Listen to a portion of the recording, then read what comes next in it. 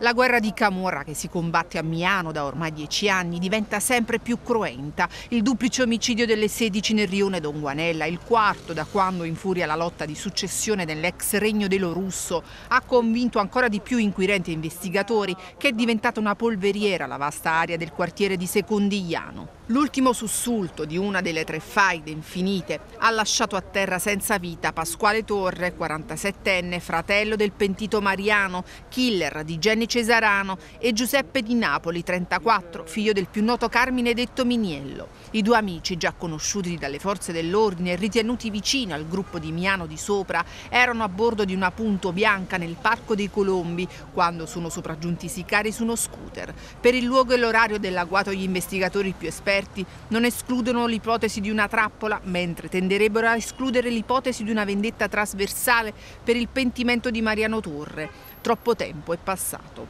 Ma al di là dei motivi resta il fatto cruento di un duplice omicidio avvenuto nel pieno pomeriggio davanti agli occhi di decine di persone e le reazioni politiche e istituzionali sono tante, soprattutto dopo la firma in prefettura alla presenza del ministro Lamorgese sul patto della sicurezza. L'ex governatore Bassolino ritiene necessario che il Consiglio discuta su come il Comune può e deve arginare il problema.